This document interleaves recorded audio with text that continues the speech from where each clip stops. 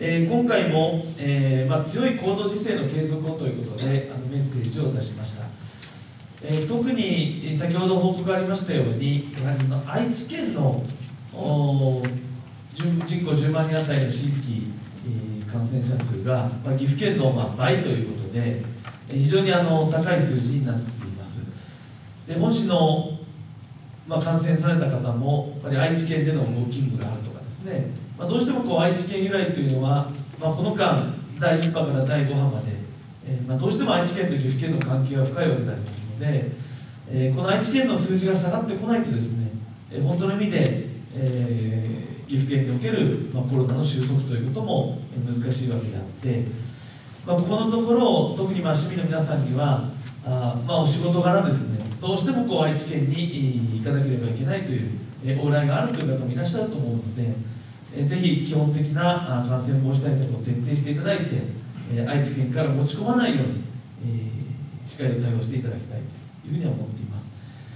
え今回あの古田知事も、えー、まあ、長らく岐阜県は自宅療養ゼロということで取り組んでこられて8月の下旬に、ま大きなですね感染爆発がありましたのでまあ、宿泊療養施設等をしっかりと確保はしていましたけれども、まあ、そのキャパシティを超えたということで、え、やむを得ず自宅療養ゼロが維持できなくなりました、え、しかしやっぱり自宅療養ゼロというのは岐阜県のま大きな方針でありますしそのことが県民市民の皆さんのやはり生命をですねしっかりと守る健康を守るという意味で重要なまあ方針ですので、まあ、今一日も早くこの自宅療養ゼロに戻すということで、えー、大きな方針として出されています、まあ、本市としても、えー、新規の感染者数が、まあ、順次、えーまあ、先週と比べて下がってきてはいますけれどもまだ一定数の方あの出ている状況でありますので、まあ、この自宅療養をまずゼロにすると、えー、そのためにはあ新規の陽性の方を、え、オール岐阜市で減らしていくと、ま、これ以外に道はありませんので、え、そういった観点で取り組んでいただきたいと思います。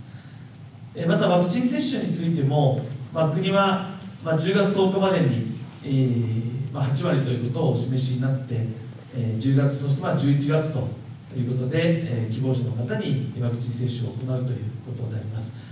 えーまあ、これまでも各部にさまざま協力をしていただいてますけれども、まあ、この11月という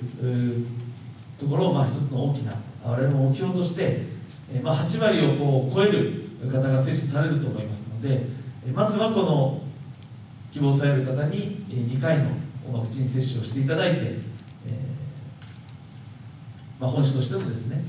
感染防止対策をやっぱり進めていくということが大切でありますので、えさらなるご協力をよろしくお願いしたいと思います、えまあ、いずれにしても、まあ、9月30日がまた延長されるということはあこれは社会経済活動からしても非常に厳しいわけでありますので、え何としてもこの月内にまあ、本市の中での感染者をしっかりと抑えていく。えそのためには我々行政もそうですが事業者市民の皆さんお一人お一人の行動がご協力が全てでありますのでみんなでこの難局を乗り越えていけるようにご協力をよろしくお願いします。以上です。